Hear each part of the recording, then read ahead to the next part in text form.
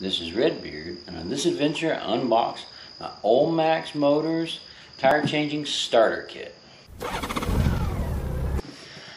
Do have to say it, uh, it took a while for me to get this thing. I ordered it in February, and it comes from Poland. And I, I talked to Lukas, uh, and he's the one who designs and builds these things.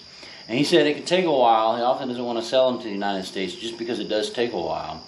And I said, well, it, it looks perfect for me. You know, good things come to those who wait. I'll take it. And evidently, that's not a saying in Poland. So I ordered it in February.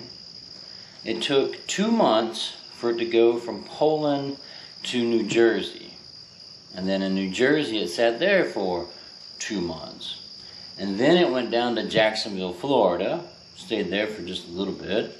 Then from Jacksonville, Florida up to Nashville. So I got really excited. I said, ooh, I'm about to get it because I'm just outside Nashville. And then went to Memphis. I have no idea why. And then from Memphis back to Nashville. And then it went to my old address. I don't live here anymore. Um, it is USPS, so I thought they might forward it, but no, they didn't forward it. Luckily, though, uh, I'd had a package accidentally sent there before. It had my phone number on it, so the resident uh, that lives where we used to now um, has my phone number. So he just called me up and said, hey, I got another package. I said, thank you very much, which I was tracking it, so I knew it was in Murfreesboro. And um, went down there and got the box. Now, this isn't a giant box, but that's the beauty of this system. It's smaller. I think uh, I think it's mainly designed for like trackside usage. Uh, to me, I, I don't like to have a lot of big, expensive equipment.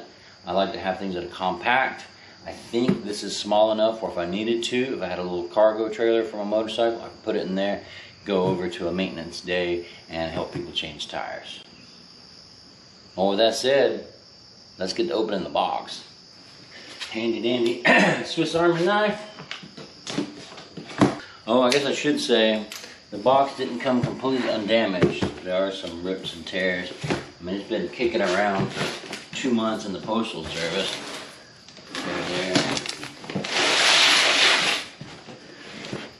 Looks like something big that side. So kicking around the U.S. Postal Service and overseas and everything else. It fared pretty well, if you ask me. There it is. This is the starter kit. So it has this, this right here is for balancing the tires. But if you don't want to balance them, you can get the starter kit or not.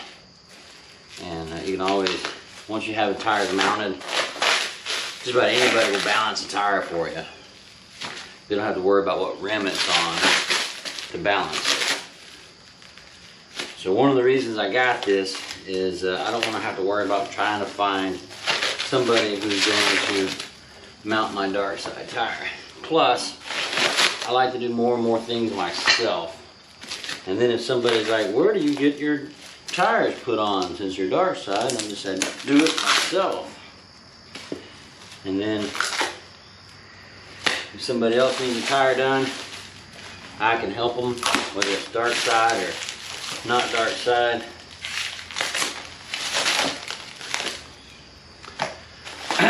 But uh, before I help anybody, I gotta do some tires myself. Package it well, I mean, see how it, it poked through the box, but he had cardboard on it, so even though it poked through the box, nothing happened to this. So thank you, Lukas. Packaged very well. I'm assuming that's the tire lube. Uh, a little nervous, I don't see any instructions. I was thinking there might be a instruction package right there, but uh, there's not. Like a nice handle. Looks like the foam got a little messed up in uh, in shipping or maybe packaging, but that that may uh, release as it's not under pressure anymore. All right, this looks like got some weights here. This is the starter kit. I believe it has basically everything you need to get started. Nice brush. And uh, Lukas updates this thing regularly, I've been told. I think this is the 2020 update.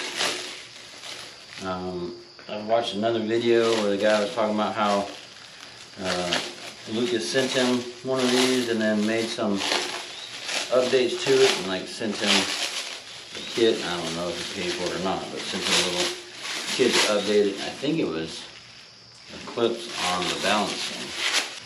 And I did a lot of research before I settled on this one. I mean, you got all the things of Harbor Freight you can get and modify for motorcycle. You got um, you got the, the big machines. I think uh, Chris Caliente has a, a fairly good sized machine in his garage. Um, there's a lot of different ways of changing the tires. And I like this. It looks, you know, elegant. Seems like an elegant way of doing it. Not uh, too much stuff. As you see here, fairly simple.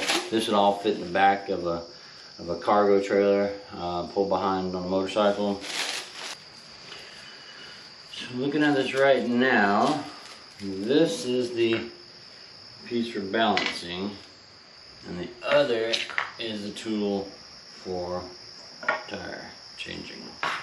Now there's the, the balancing rack. In my understanding you have it up here, you're balancing it, nice smooth bearings on there and then you can set it down here. Uh, that should snap down. So easy transport. Guess though is this actually mounts over here.